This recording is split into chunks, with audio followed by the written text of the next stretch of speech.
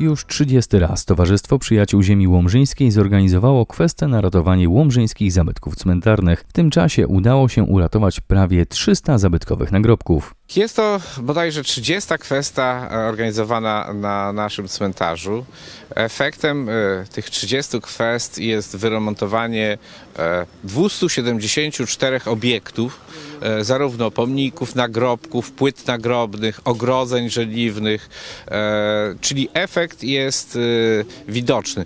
Ale te 240, 274 e, obiekty to nie jest wszystko, ponieważ niektóre pomniki były już remontowane w latach 90., początek lat 90., no pierwsze to w 84, 5.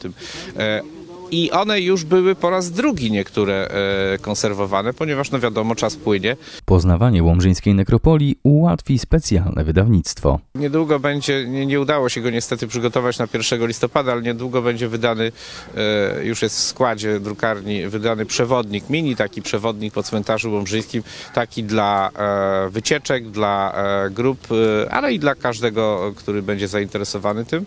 Żeby zrobić taki, no, bardzo porządny y, przewodnik, y, musiałby mieć y, on około 500 stron, a trudno takim chodzić po cmentarzu.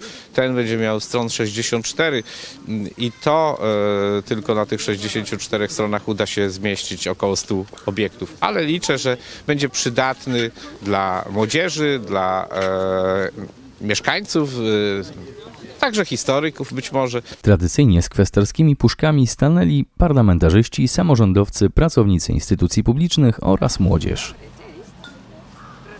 Przede wszystkim trzeba dbać o naszą historię, a cmentarz jak Kopernika w Łomży to nasza historia e, i warto wspierać e, rewitalizację zabytków cmentarnych w Łomży, bo nasz cmentarz jest bardzo słynnym cmentarzem w Polsce. Tak naprawdę równa się z, z cmentarzem na Powązkach w Warszawie, więc mamy czym się szczycić i o co dbać. Więc zachęcam wszystkich Państwa o troskę o nasz cmentarz i nasze zabytki i dlatego tutaj zbieramy, żeby je odnawiać. To jest obowiązek e, nasz, jak, nas jako, e, można powiedzieć tak szeroko rozumianej władzy e, samorządowej, żeby wspomagać e, inicjatorów, inicjatorów tego, te, tej kwestii e, i jesteśmy tu po to, żeby zachęcać do zbierania e, pieniążków na ratowanie łomżyńskich zabytków cmentarnych.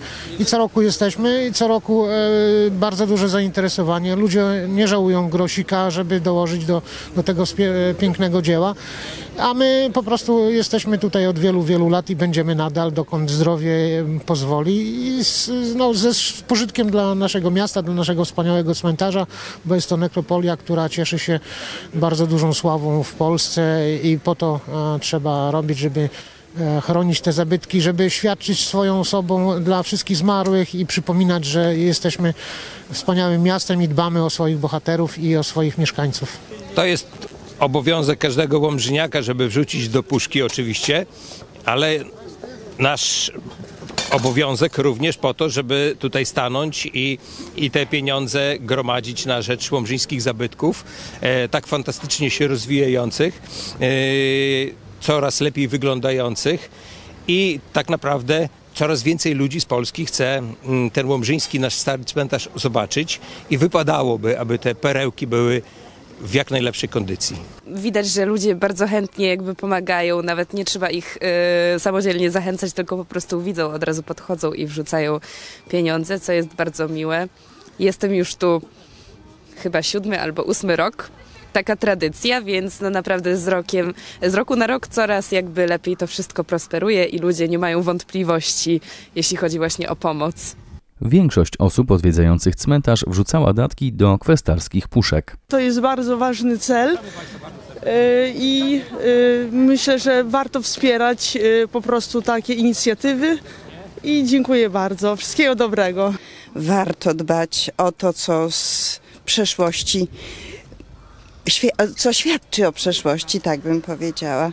No poza tym to chyba tak zostałam wychowana, że mm, należy szanować, pamiętać o zmarłych. Stąd taka moja postawa. W tym roku kwesta na rzecz ratowania cmentarnych zabytków trwała trzy dni. Już w Dniu Wszystkich Świętych udało się zebrać prawie 47 tysięcy złotych.